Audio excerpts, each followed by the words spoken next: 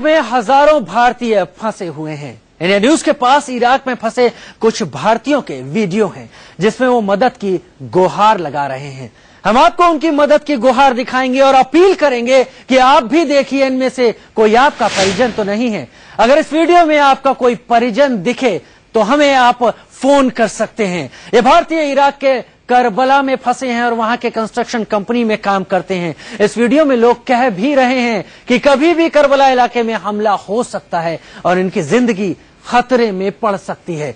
लिहाजा वो वहाँ से निकालने की गुहार लगा रहे हैं। हम अपने संवाददाता सोहेल बुखारी के पास भी चलेंगे, लेकिन पहले आप खुद इराक में फंसे भारतीयों की गुहार सुनिए।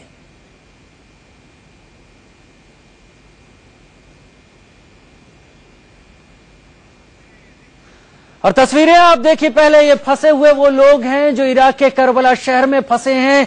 इन्हें इंतज़ार है अपने वतन वापस लौटने का। इन्हें इंतज़ार है कि कोई तो इनके वतन से इन्हें पुकारेगा, इनकी तरफ़ मदद का हाथ बढ़ाएगा। हम लोग भी इराक में काम करने आए जैसे करबला करबला में फंसे हुए सब बंदे। कम करीब 500 बंदे हैं यहाँ पे बल्दावी रूप का, प्लस हम लोग के कंपनी का भेजे हुए यहाँ पे। आदमी करीब पच्चीस आदमी हमारे कंपनी का है और बाकी तीन कंपनी कंडक्टर लाइन की आई, आई हुई है यहाँ पाँच सौ आदमी पाँच सौ आदमी टोटल है। बाकी ये सब कोई यहाँ फंसा हुआ है बाकी ये करबला में भी आतंकी हमला चालू होने वाला है। कोई हमारे पे एक्शन नहीं लिया जा रहा है। आगे चल के बहुत बड़ी दिक्कत आ सकती है। इसलिए हमारे पे हम लोग पे एक्शन लिया जाए और सहायता किया जाए। यही इसलिए हमारे पे हम लोग पे एक्शन लिया जाए और सहायता किया जाए। यही हम लोग का वो है बाकी इंजीनियर भी हम लोग का कोई सहायता नहीं कर रहा है यहाँ का जो मालिक है वो भी वो भी यहाँ पे नहीं है और सब बंदे एक एक है सब बंदे यहीं पे देखिए वीडियो का कम से कम 500 बंदे यहाँ पे हैं अभी और अ, सारे परेशान है जी सारे सबके सारे परेशान है इंडिया आना बस आना करबला में फंसे हुए हम लोग और कोई एक्शन नहीं है कोई वो नहीं है कोई मतलब हम लोगों को सहायता नहीं मिल रहा है। कितनी बार हम लोग कितना आदमी ने सब कोई अपना बाज और जमा किया आईडी कार्ड जमा किया लेकिन ये लोग भेजने के लिए तैयार नहीं हो रहे हैं। बोल रहे हैं कि आज भेज देंगे कल भेज देंगे बोल रहे हैं कोई प्रॉब्लम नहीं है 500 किलोमीटर दूरी पे है। मान लीजिए सारा रास्ता ब्लॉक हो जाएगा तो हम लोग क्या कर सकते हैं? हम लोग कुछ नहीं कर पाएँगे बाद में हमारे दिक्कत हो जाएगी। मोहम्मद गयासुद्दीन हम लोग बिहार स्टेट से रहने वाले हैं और कुछ यहाँ पे पंजाब स्टेट से रहने वाले हैं। अठारह महीना हो गया यहाँ पे काम करते हुए। हमारी company Rajesh private limited Delhi. ने अभी तक टिकट भेजने से इनकार कर दिया। हमें बुलाने के लिए कोई कोशिश नहीं की जा रही है। और बलदावी ग्रुप के यहाँ भी बंदे फंसे हुए जहाँ डेढ़ दो साल तक हो गया टिकट नहीं दे रहा है। हमला काफ़ी ज़्यादा जोरों शोर से चल रहा है। यहाँ पे चारों तरफ़ से बंदे गिरे हुए हैं। यहाँ से निकलने का कोई चांस नहीं है। हम पे जल्द से जल्द कोई कार्रवाई की जाए दस दिन तो कोई सुनवाई नहीं हो रही है पहले भी टेलीफोन ਕੀਤਾ ਸੀ ਮੇਰੀ ਕਰਬਲਾ ਸ਼ਹਿਰ ਦੇ ਬੰਗਾਲੀ ਗਰੁੱਪ ਚ ਹੈਗਾ ਜੀ ਬੰਗਾਲੀ ਗਰੁੱਪ ਚ ਹੈਗਾ ਜੀ ਇੱਥੇ ਮਦੀਰ ਵੀ ਇਥੋਂ ਲਾਪਤਾ ਹੈ ਕੋਈ ਵੀ ਇੱਥੇ ਸਾਡੀ ਪੁੱਛਗਿੱਛ ਕਰਨ ਵਾਲਾ ਨਹੀਂ ਹੈ ਜਦੋਂ ਸੋਨੀ ਦੇ ਦਫ਼ਤਰ ਅਸੀਂ ਸਾਡੇ ਘਰ ਵਾਲੇ ਗਏ ਜੀ ਤਾਂ ਉਸ ਤੋਂ ਬਾਅਦ ਜਦੋਂ ਸੋਨੀ ਦੇ ਦਫ਼ਤਰ ਗਏ ਤਾਂ ਸਾਡੇ ਘਰ ਵਾਲੇ ਉਹਨਾਂ ਕੋਲ ਤਾਂ ਸੋਨੀ ਦਫ਼ਤਰ ਇਹ ਕਹਿੰਦੇ ਹੈਗੇ ਜੀ ਸੋਨੀ ਕਿ ਆਪਣਾ ਅਸੀਂ ਮਰੀਜ਼ ਨੂੰ ਫੋਨ ਕੀਤਾ ਕੋਈ ਪ੍ਰੋਬਲਮ ਨਹੀਂ ਹੈਗੀ ਉੱਥੇ ਕੋਈ ਬਗਦਾਦ ਹਮਲਾ ਨਹੀਂ ਹੁੰਦਾ ਪਿਆ ਹੈ। ਸਰ ਅਸੀਂ ਕਰ- ਇਰਾਕ 'ਚ ਰਹਿੰਦੇ ਵੇ ਸਾਨੂੰ ਪਤਾ ਹੈ ਕਿ ਉਹਨਾਂ ਨੂੰ ਪਤਾ ਇਹ ਦੱਸੋ ਪਹਿਲਾਂ। ਬਾਕੀ ਸਾਡੇ ਘਰ ਵਾਲੇ ਬਹੁਤ ਦੂਰੀ ਆ ਜਿੱਥੇ ਲੜਾਈ ਲੱਗੀ ਆ। 130 ਕਿਲੋਮੀਟਰ ਜਦੋਂ ਮਰਜ਼ੀ ਆ ਸਕਦੇ ਇੱਥੇ ਮਾਰ ਸਕਦੇ। ਆ। ਤੁਸੀਂ ਇਹ ਦੱਸੋ ਜੀ ਜਦੋਂ ਇੱਥੇ ਆ ਜੂਗੀ ਤਾਂ ਉਸ ਤੋਂ ਬਾਅਦ ਤੁਸੀਂ ਕੀ ਕਰੋਗੇ? ਤੁਹਾਡਾ ਕੀ ਸਟੇਟਮੈਂਟ ਹੈ? ਅਜਾ ਅਸੀਂ ਸੇਫ ਹੈ ਜੀ ਕੋਈ ਸਿਕਿਉਰਿਟੀ ਕੋਈ ਦੋ ਸਿਕਿਉਰਿਟੀ ਸਿਕਿਉਰਿਟੀ ਪ੍ਰਾਈਵੇਟ ਆ। ਸਿਕਿਉਰਿਟੀ ਗਾਰਡ ਦੇ ਬੰਦੇ ਆ ਜੀ। ਤੋਂ ਇਲਾਵਾ ਹੋਰ ਕੋਈ ਬੰਦਾ ਨਹੀਂ ਹੈਗਾ ਜੀ ਜਦੋਂ ਇੱਥੇ ਕੋਈ ਆਜੂ ਭਾਜੀ ਨਹੀਂ ਸਾਰੇ ਦਾ ਭਾਜਣਾ ਇਹਨਾਂ ਕੋਲ ਹੈ ਨਹੀਂ 17000 ਬੰਦੇ ਨੇ ਸੁਣੀ ਨੇ 1.5 ਲੱਖ ਫੌਜ ਪਿੱਛੇ ਕਰਤੀ ਇਰਾਕ ਦੀ ਤੁਸੀਂ ਆਪ ਹੀ ਦੇ ਲਓ ਕਿੰਨੇ ਪਾਵਰਫੁਲ ਹੋਣਗੇ ਉਹ और हम लगातार आपसे कह रहे हैं कि इसमें अगर आपको कोई अपना दिखे तो इंडिया न्यूज को फोन करें पहचानें और आगे बढ़ें उसकी पहचान करने के लिए इस बीच हिमाचल के एक परिवार ने इस वीडियो में मौजूद अपने परिवार के एक शख्स की पहचान कर ली है आइए सुनते हैं कि उनका क्या कहना है सिंह जी अभी जो आपको एक वीडियो दिखाया गया है क्या जी आपके बेटे का वीडियो है? हाँ वो मेरे लड़के का सनी सिंह का वीडियो है और उसके साथ आदमी वीडियो फ़िल्म में देखे हैं। वो इंडियन आदमी है। सिंह जी अभी जो आपको एक वीडियो दिखाया गया है क्या जी आपके बेटे का वीडियो है? हाँ वो मेरे लड़के का सनी सिंह का वीडियो है जो इराक में है। उसका वीडियो बना हुआ है। बाकी जो और उसके साथ आदमी वीडियो फ़िल्म में देखे हैं। वो इंडियन आदमी है। और तकरीबन 400 आदमी वहाँ फंसा हुआ है। और जैसे कि लड़के ने वीडियो फ़िल्म में बताया कि उग्रवादी उनके बिल्कुल नज़दीक आ रहे हैं। तो मेरे लड़के ने भी यही आपसे गुजारिश की है, इंडिया गवर्नमेंट से, कि जितनी जल्दी हो सके हमें यहाँ से इराक से निकालो। तो मेरी आपसे भी ये टीवी चैनल वालों से रिक्वेस्ट है कि जो इंडियन आदमी 400 आदमी फंसा हुआ है इराक में, उस कंपनी का वो उसको जल्दी से जल्दी निकालने की कोशिश करो। क्योंकि तो वहाँ के मजीर में जो उन्होंने लिखा है कि वो उन्होंने पासपोर्ट जब्त कर लिए हैं। उनको खाने पीने की बड़ी प्रॉब्लम है। ना वो पेमेंट ले रहे हैं, ना खाने पीने को रोटी दे रहे हैं। तो हम ग्राउंड ज़ीरो पर मौजूद अपने संवाददाता सोहेल बुखारी के पास भी चलेंगे, जो हालात पर बहुत करीब से नज़र रख रहे हैं। लेकिन उससे पहले हम आपको बता दें कि भारत सरकार कह रही है, इराक में अगवा किए गए सारे भारतीय सुरक्षित हैं। राजनयिक और कूटनीतिक प्रयासों के ज़रिए बंधकों की रिहाई की कोशिशें जारी हैं। केंद्र सरकार अगवा भारतीयों के परिवारों को दिलासा देने में जुटी है, लेकिन इराक के मौजूदा हालात को देखते हुए सबकी चिंताएँ बढ़ी हुई हैं।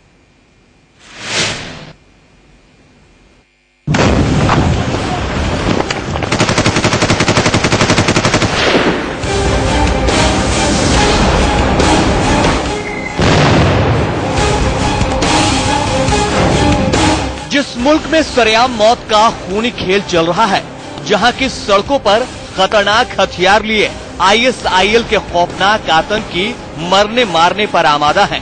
इराक की उसी सरजमी पर मौत के चंगुल में फंसे उनचालीस अगवा भारतीयों को लेकर आई है एक परेशान करने वाली खबर खबर यह है कि आईएसआईएल के चंगुल में फंसे उनचालीस अगवा भारतीयों को आईएसआईएल के आतंकी कवच बना सकते हैं इराक, अमेरिका के हमले के दौरान इन्हें मानव कवच के तौर पर इस्तेमाल कर सकते हैं। अगवा भारतीयों की जान जोखिम में डाल सकते हैं आतंकी। आतंकी इन अगवा भारतीयों को हथियार ढोने के लिए भी इस्तेमाल कर सकते हैं। इराक के अधिकारियों ने भी इस खतरे से आगाह किया है। इस समय किसी भी तरह का इराकी सरकार का कोई नियंत्रण नहीं है। मौसुल में जो भारतीय फंसे हुए हैं, उनको घरों में रहने की हिदायत दी गई है और उनसे कहा गया है कि वो सेफ़ जगह पर रहें, कहीं बाहर न निकलें। इससे भी बड़े खतरे की बात यह है कि सरकार की तमाम तर कोशिशों, भरोसों और दावों के बीच अब तक अगवा उनचालीस भारतीयों का कोई सुराग नहीं है। अगवा हुए 40 भारतीयों में जान बचाकर भागे इकलौते भारतीय हरजीत सिंह का दावा है। मोसुल के करीब इरबिल में हो सकते हैं अगवा भारतीय। इरबिल का इलाका नॉर्थ वेस्ट इराक के हिस्से में आता है। मोसुल से 100 किलोमीटर पश्चिम में है इरबिल। कुर्द लड़ाकों के वर्चस्व वाला इलाका है इरबिल। हालाँकि पुख्ता तौर पर कुछ भी नहीं कहा जा सकता है क्योंकि आईएसआईएल के खूंखार आतंकी हर दिन अपना ठिकाना बदल रहे हैं। ऐसे में अगवा उनचालीस भारतीय कहाँ हैं ये कहना पुख्ते तौर पे मुश्किल है। We have the 40 uh, workers in Mosul. Uh, according to our information from different sources, you know that Mosul is not under control of the government, therefore we cannot have our own sources there. But according to the sources which we have uh, checked, uh, they are safe. 15 जून को एक construction company में काम कर रहे 40 भारतीयों को Mosul से ही ISIL के आतंकियों ने अगवा कर लिया था इनमें एक शख्स इनके चंगुल से भागने में कामयाब हुआ इधर उनचालीस भारतीयों की रिहाई में जुटे भारतीय विदेश मंत्रालय का दावा है कि अगवा हुए उनचालीस भारतीय सुरक्षित हैं। राजनयिक और कूटनीतिक प्रयासों के ज़रिए सरकार इनकी रिहाई की कोशिशों में जुटी है। अगवा हुए भारतीयों की पहचान हो चुकी है, लेकिन सुरक्षा के लिहाज ऐसी सरकार इसे ज़ाहिर नहीं करना चाहती। इस बीच एमनेस्टी इंटरनेशनल ने भी इस बात का दावा किया है कि करीब दस हज़ार से ज़्यादा भारतीय नागरिक इराक के अलग अलग शहरों में फंसे हैं। नजफ में ही सौ भारतीय फंसे हैं। कंपनी ने इनका पासपोर्ट जब्त कर रखा है। करीब पाँच महीने से कंपनी ने इन्हें वेतन भी नहीं दिया है। ज़ाहिर है, हालात हर गुजरते दिन के साथ खौफनाक और खतरनाक होते जा रहे हैं। सवाल इराक के बिगड़ते हालात से ज़्यादा मौत के मुँह में फंसे भारतीयों की ज़िंदगी से जुड़ा है। Bureau report India news India news में वक्त हो चला है, अभी एक छोटे से ब्रेक का, लेकिन हम आपको पहले बता दें कि अब हम आपको वो वीडियो दिखाएँगे ब्रेक पर जाने से पहले। और आपसे उम्मीद करेंगे, गुजारिश करेंगे इंडिया न्यूज़ की तरफ़ से कि आप अपने अपनों को पहचाने, आप अपने उन परिवार के लोगों को पहचाने जो इस वीडियो में आपको दिखाई पड़े। और अगर आप उन्हें पहचान जाते हैं तो बेहिचक, बिना देरी किए इंडिया न्यूज़ से संपर्क करें। आपके उस अपने की, उस परिजन के बारे में हम खबर आगे ले जाएँगे, हम खबर आगे बढ़ाएँगे और गुहार लगाएँगे आपके ज़रिए सरकार से। हम चलेंगे इसके साथ अपने उस संवाददाता सोहेल बुखारी के पास, जो ग्राउंड ज़ीरो पर मौजूद है और इराक के हाल का पल पल का जायजा ले रहे हैं। तो वक्त एक छोटे से ब्रेक का है। आपको पहचान लिया है, उसको ठीक ठाक हालत में देखा है। सरकार से क्या उम्मीद लगाते हैं अब आप? अरे उम्मीद तो मेरी बहुत है, लेकिन मुझे ऐसा लग रहा है कि भारत सरकार हमारे लड़के को वापस लाने में या इंडियन आदमी को लाने में दिलचस्पी नहीं ले रही। क्योंकि आज दस दिन हो गए हैं, यही बोल रहे हैं कि हम कोशिश कर रहे हैं, कोशिश कर रहे हैं, कोशिश कर रहे हैं। तो कोशिश कोशिश करने से इतना टाइम निकल गया है। अगर वो लड़ाई नज़दीक आ गई तो फिर कोशिश करने का कोई फ़ायदा नहीं। जी हाँ हम हम समझ सकते हैं आपके दिल पर क्या बीत रही होगी। इस वक्त आपका बेटा इतनी दूर वहाँ पर है। लेकिन क्या आप वहाँ अपने इलाके के प्रशासनिक अधिकारियों से मिले हैं? उन्होंने आपसे इस सिलसिले में कुछ कहा कुछ आपको आ, बात कही मदद की? हाँ जी मैंने डीसी साहब को भी मोहम्मद रकम दे दिया था। जी। और हिमाचल के जो प्रधानमंत्री है वीरभद्र सिंह उनको भी मैंने मोमेंटम दे दिया है। जी। सुषमा सुषमा स्वराज जी को भी मैंने फैक्स कर दिया है। और जो गृह मंत्रालय है उसको भी मैंने इन्फॉर्मेशन ऑलरेडी दे दी है। महेंद्र सिंह जी आप जहाँ रहते हैं क्या वहाँ के इलाके के और कितने लोग हैं जो आपको लग रहा है इस वीडियो में हैं? कितने लोगों की आप पहचान कर पाए हैं अपने बेटे के साथ साथ? नहीं वीडियो में तो मैं पहचान नहीं कर पाया लेकिन मेरे लड़के ने मुझे फ़ोन पे पाँच छह दिन पहले बताया था कि ऊना साइड के को आठ दस आदमी है वहाँ। जिसके मैंने ऑलरेडी वो डीसी साहब को इन्फॉर्म कर दिया लड़कों के नाम और गाँव दे दिए पते दे दिए मैंने। जी। हाँ जी। तो अभी अभी कितने दिन हो गए हैं आपके अपने बेटे से बातचीत हुए? नहीं अभी मेरी सुबह बातचीत हुई है लड़के की। जी। फ़ोन आया उसका। जी। लेकिन वो ये कह रहा कि डैडी जी ये लोग हमको ना तो हम काम पर जाना चाहते हैं ना हमारा पासपोर्ट दे रहे हैं ना हमको टिकट दे रहे हैं। जी। और खाने के लिए भी हमको बहुत चावल वगैरह मिल रहे हैं वो कह रहे हैं हम ये भी बंद कर देंगे। तो आप अंदाज़ा लगा सकते हैं कि लड़के वहाँ कहाँ से पानी पियेंगे कहाँ से खाना खाएँगे कैसे बचेंगे? जी।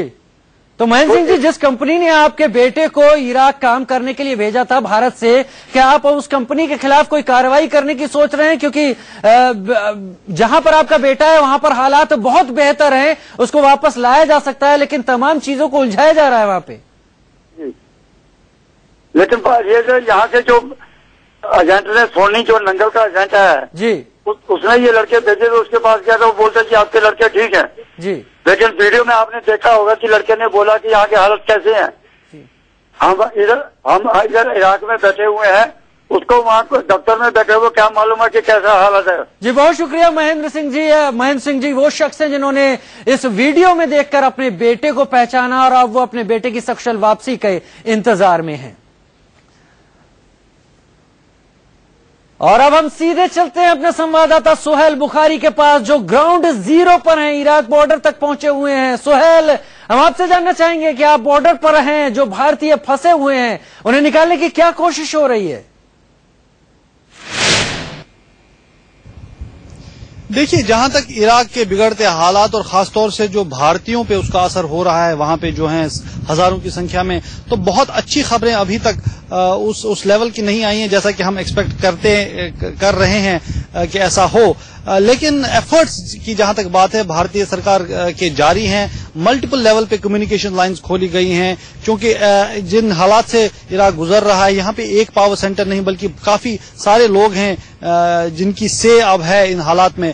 तो जितनी मल्टीपल लाइंस हो सकती थी कम्युनिकेशन की, वो खोल दी गई हैं। भारतीय सरकार द्वारा बातचीत जारी है। कोशिश ये की जा रही है कि वो भारतीय नागरिक जो बंधक बनाए गए उनको छुड़ाया जा सके। साथ ही जो बड़ी संख्या में भारतीय नागरिक फंसे हुए हैं ऐसे इलाकों में जहाँ पे भयंकर झड़पें अभी भी जारी हैं। तो उन लोगों को रेस्क्यू किया जाए। इसके लिए प्रयास बिल्कुल जारी हैं और न एक कोऑर्डिनेटेड एफर्ट किया जा रहा है भारतीय सरकार द्वारा। न सिर्फ़ अन्य देशों के जो मिशन है, इराक में उनके साथ बैठ के हमारे साथ जुड़ना है इटावा से। इस वीडियो में उन्होंने अपने एक परिजन को पहचाना। अनिल बताएँ कौन है आपका परिजन जो कि इस वीडियो में आपको दिखाई पड़ा? वो मेरा भाई है।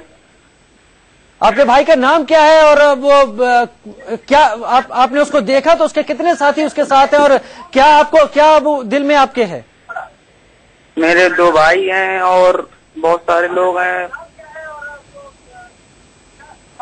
अनिल आपके भाई का नाम क्या है जो इस वीडियो में है और जो यहाँ इराक के करबला में फंसा हुआ है? तेजेंद्र मेरे भाई का नाम है। तेजेंद्र वो वहाँ क्या करने गए थे अनिल? क्या आप हमारे साथ साझा करना चाहें? मेरी कोई सरकार मदद नहीं कर रहा है। कोई भी अधिकारी बात नहीं करने को तैयार है और ऐसे ही सब टालते रहते हैं। तो इंडिया न्यूज़ के दर्शक अनिल हमारे साथ जुड़े हुए हैं। इनके भाई तेजेंद्र इस वीडियो में उन्हें दिखाई पड़े जो कि फंसे हुए हैं और जिन 500 लोगों ने करबला में अपनी गुहार लगाई है कि उन्हें वापस जल्द बुलाया जाए उसमें तेजेंद्र भी हैं। बहुत शुक्रिया अनिल। आ, हम ज़रूर कोशिश करेंगे कि सरकार तक आपकी ये गुहार पहुँचे और और भी जो लोग इस वीडियो में अपने अपनों को देख रहे हो और वो उनकी बात आगे पहुंचाना चाहते हो ज़रूर हम तक अपनी बात पहुंचाएँ। चलते हैं चलते हैं हम दोबारा अपने संवाददाता सुहेल हम आपके पास फिर आना चाहेंगे। ग्राउंड ज़ीरो के क्या हालात हैं सुहेल? आतंकियों और इराकी फौज के बीच जो टकराव है उसकी क्या खबरें सामने आ रही हैं? देखिए जहाँ तक ग्राउंड रियलिटीज की बात है तो लगातार हम देख रहे हैं कि ये जो मिलिशिया है आईएसआईएस के जो लोग हैं वो अ, हर दिन नए इलाकों में घुस रहे हैं और वहाँ कब्जा जमा रहे हैं। बड़ी खूनरेज झड़पें हो रही हैं। बहुत वायलेंट क्लैशेस हमने देखे हैं कई सारे इलाकों में। लेकिन ये ज़रूर है कि अपर हैंड ऐसा लग रहा है इन मिलिशिया का है। क्योंकि हर दिन नए इलाकों में ये जा रहे हैं और वहाँ अपना कब्जा जमा रहे हैं। जी सुहेल। जी सुहेल सुहेल आप अपना भी ख्याल बनाए रखें और ज़ाहिर तौर पर पल पल की खबरें हमें भी आपसे चाहिए होंगी कि इराक के हालात क्या है। हमारी इस खास पेशकश में फ़िलहाल इतना ही।